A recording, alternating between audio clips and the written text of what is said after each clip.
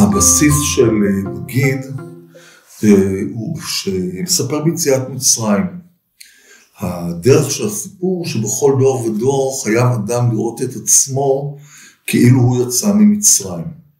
במשפט הזה יכולות להיות שתי, פירוש, יכולות להיות שתי משמעויות, שני פירושים. פירוש אחד זה שאני מדמיין לעצמי את עצמי לפני שלושת אלפים שנה, יוצא ממצרים.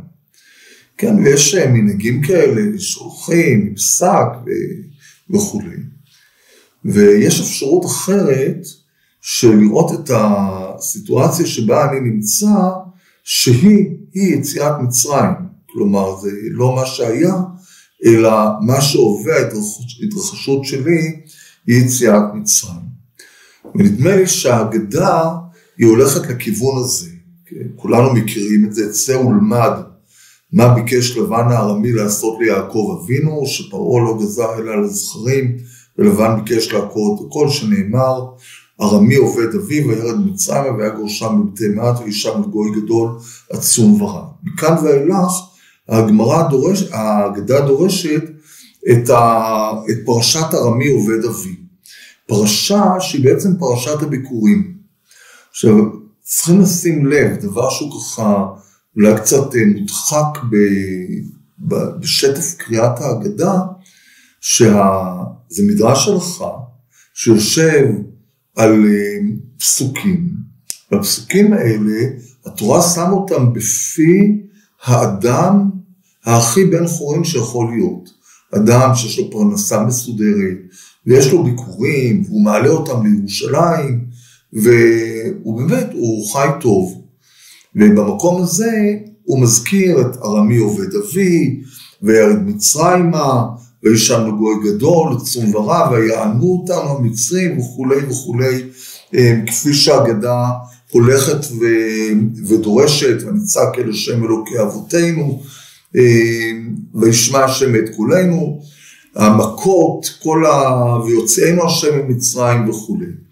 אה, זאת נקודת המוצא. נקודת המוצא היא של אדם שהוא מבוסס, ומנקודה המוצא הזאת, מהביסוס הזה, מהבית המבוסס שלו, אה, הוא פונה אל, אל עברו הפחות מזוהר מההווה המוצלח שלו. ונדמה לי שזו אמירה מאוד מאוד מאוד משמעותית. אה, את האמירה הזאת שזה המשמעות של לספר ביציאת מצרים, אה, אני לא בטוח שאבות אבותיי היו יכולים לספר. אני חושב שהסיפור שלהם יותר דמה לזה שהאיסורים, הקושי וכאבי הגלות שלהם, אה, יש להם דמיון מסוים לאותה גלות של מצרים. אבל הסיפור של יציאת מצרים הוא באמת סיפור ש... שהוא משתנה, הוא משתנה מ... מהמציאות שבה נמצא מספר, ואינה דומה, אינו דומה הסיפור של הראשון לסיפור של האחרון, כל אחד וה... והסיפור שלו. והדבר הזה הוא ככה מאוד מאוד מקרין על אה, איזה קטעים בהגדה אני עובר עליהם במרקר זוהר. אני רוצה להתייחס לפסוק אחד שאותי הוא ליווה ככה מילדות בהגדה שליוותה אותי ב...